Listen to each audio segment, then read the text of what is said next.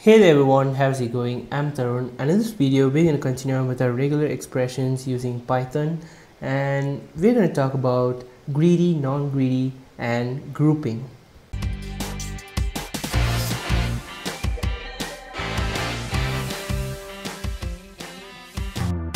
So what do you mean by a greedy match? A greedy match in the sense when you write a pattern or a regular expression to match a particular string in a given test string, it is going to get greedy, literally, and it's going to keep searching further even after a, an exact match is found. Okay, so to illustrate an example, let's just write here HTML, CSS, okay, here. And the regular expression I'm going to use here is again the angular angular bracket okay? Dot star okay? And closing angular bracket okay? So as you see here angular bracket matches an angular bracket.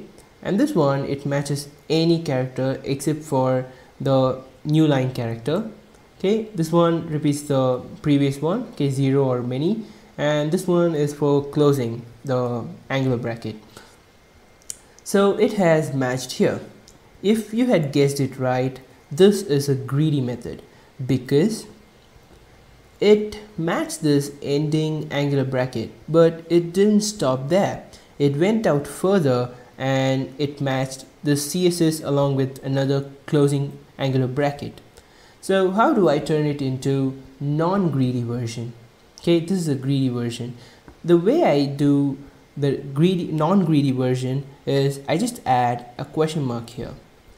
Okay then what it does is when I use the star question mark it matches between 0 and unlimited times as few times as possible. Okay it is also known as lazy matching. Okay that's why it's non-greedy matching.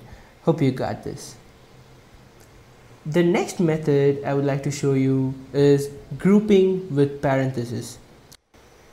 So let's talk about grouping with parentheses. Consider that we had this test string here A2, A33, A3 and so on.